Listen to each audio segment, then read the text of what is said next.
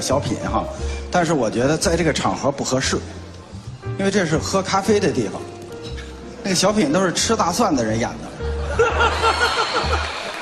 在上海这个地方只适合脱口秀，因为我呢是没有接到邀请，硬闯进来的，为什么？因为我从小就崇拜周立波，我看他的书长大的。不，呃，这这这样，崔哥，啊啊你呢可以调侃我，但你不能调戏我。我确我确实。说说从小看我就长，我是你代表作两部嘛，是吧？一个是《暴风骤雨》，一个是《山乡巨变》。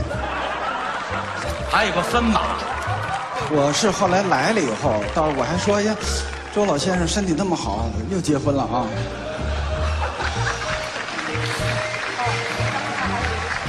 来了以后一看是这个周立波，这个周立波也了不得，他一年一个人创造的产值就是一亿五千万，我听说利润也是一亿五千万，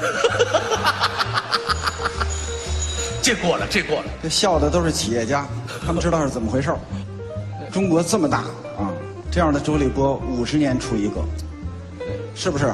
那个秋秋秋雨老师，他本来说一百年，他本来说一百年，他来了吗？他没来。没来，他胡说。哎呦啊，来了就是他说的对啊，是。呃，其实，呃，平时我们大家爱称小崔，但是呢，我我说不出口，我看他会叫永元哥哥或者叫崔哥，我也特崇拜他。为什么呢？其实大家都知道啊，就是迄今为止啊，在这个世界上，只有两种微笑是波波无法解读的，一个是蒙娜丽莎的微笑，一个是崔永元的微笑。